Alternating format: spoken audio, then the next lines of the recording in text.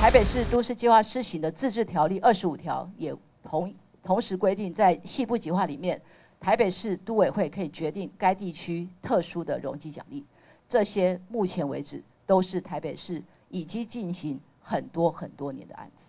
也就是说，西部计划是台北市最重要的针对城市发展里面定定容积奖励的依据。所以我们看不出来都市计划法的相关规范。是哪一条违法，哪一条图利？现在各界都以这个理理由来说，只要超过五百六就是违法。事实上，刚刚讲的相关的规范都非常的清楚。我们可以检讨相关的政策内容或方向，但是我们也相信台北市的公务员绝对不可能明知违法而为之。所以现在大家都在政治操作，我们希望把法律依据讲明白。我要奉劝所有的民意代表以及现在的政论节目，不要睁眼说瞎话。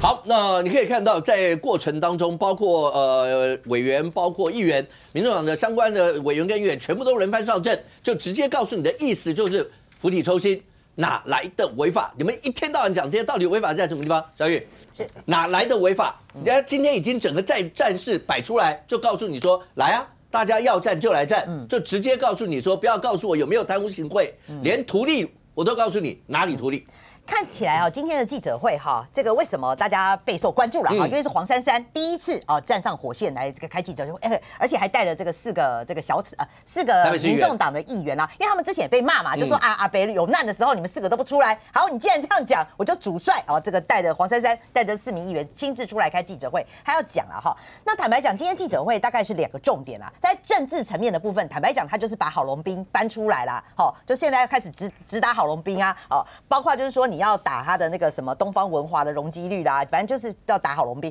可是我第一个我先要问呐，哈，就比较简单的，我先问说，你打好龙兵真的是救得了柯文哲吗？嗯好，那姑且不论说，哇，你打了好龙兵之后，游淑慧一定更加码 跳出来了，这个是后续的一个政治效应啦。只是说大家还是有点不解，说那你要如果要比关系的话，事实上沈庆金还是国民党当时的中常委，他要是跟郝龙斌一定是更好啊。郝龙斌要做关系，好，他干脆就放水给沈庆金就好啦。你看连郝龙斌都不放水给沈。进京，结果你柯文哲上任了，你竟然放水给他，好，这是政治层面啦，哈，就是我我觉得我比较质疑的地方。那再来第二个部分啊，哈，就是刚刚讲到法的部分。今天黄珊珊呢，好，他就也不再跟你讲什么台湾省的，不跟你讲了，不讲台湾省，不讲了啦，因为讲了就太拉扯了哈。他今天就直接跟你讲啊，金华城这个案子呢，不是哦，不是都跟，不是都跟条例，啊，你不要再跟我讲都跟条例，是准要用的是都市计划法。他跟你讲说，我就要用都市计划法。可是我觉得你要确哈，现在年轻人用语，你要确哈，都市计划法，都市计划法其实最主要的一个概念就是你要公益性啦，你要有公益性。那事实上公益性大概就几个嘛，第一个你金华城就叫你捐，就你要总是要捐地嘛，可是他也不捐。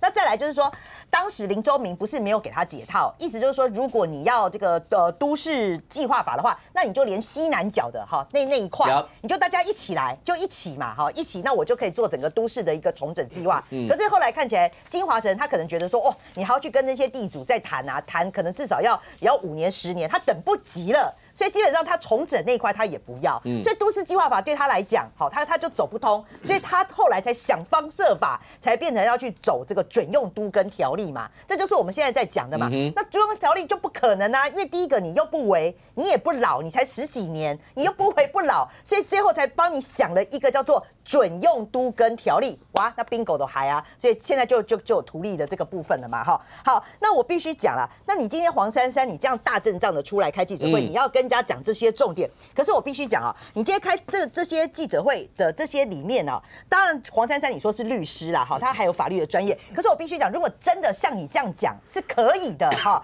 他是这个都市计划法的话，那不好意思哦。之前为了金华城案啊，哈，他至少开了三次的这种专案会，当然不止了哈。这个今天被人家这个列出来说，你在这个从二零二到二零二二零呃，就是这个这几年期间哈，你开了这么从二二零二零哈，一直到二零二一，等于说这两年的期间哈，至少有十八次哦。十八次反对哦，这个容积奖励这些哈，你包括内部的你自己的哈，这个都发局设计科、都根处、建管处啦哈，还包括你的法务局，还包括外文化部连都派代表来了，大家都反对。然后再来呢，你的外部委员呐哈，包括这个大家熟知的什么宋正迈啦，还有这几天一被传唤的哈，什么黄台生、冯正明啦，这些人都是坚决反对的，十八次哦，嗯，十八次，那这些人。都比你们这个至少来的专业，而且都跟你讲万万不可。我举几个例子就好，包括我们讲的法务局啦，哈，法务局就曾经讲过哈，在二零二一年三月十八号的那个专案小组会议就讲过，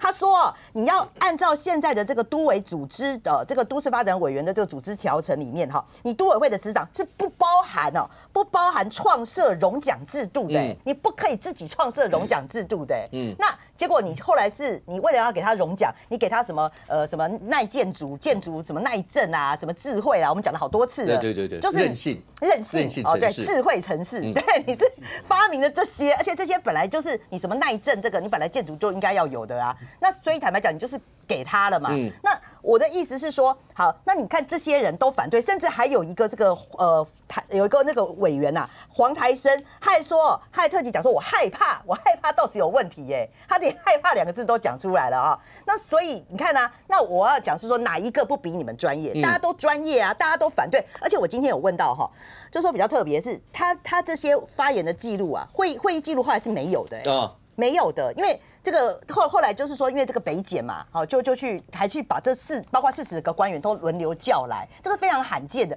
因为你要开这些的这个专案小组会，照理说你应该都要逐字稿，你要逐字稿会议记录，可是为什么这些的专案小组里面都没有逐字稿，反而到最后北检传唤这些人之后，哦，你才会有逐字稿，至少你要有录音带啦。可是看起来这个记录都是没有的，所以等于说很多很多这个匪夷所思的地方啦。最后我要讲啊，哈。就说你看起来，我我我觉得他们今天这个这个记者会其实是不智的，就跟之前陈佩琪哦出来开记者会，我觉得都不智的，因为陈佩琪就是大家现在很很熟悉的那个台语叫什么呃撸共撸绕鬼什么什么杀共西绕鬼这种的啦哈，他的漏洞很多啦哈，那你。你今天你黄珊珊，他今天讲的，我想到，我想当然尔，未未呃未来一定是柯文哲在法庭上的攻防嘛？嗯，那你你会不会觉得他这已经是自先底牌了？我就是跟你讲说，以后这个柯文哲打官司就会要这样子打，然后而且金华城还跟他隔空传，金华城就说，对对对对对，我们这个哈不是准用都跟条例，我们这就是都市计划，对你这个有隔空传证之嫌，然后再来就是你已经把你的将来柯文哲在法庭上的攻攻防，你已经先自先底牌了，我会觉得这个是好的做。做法吗？OK，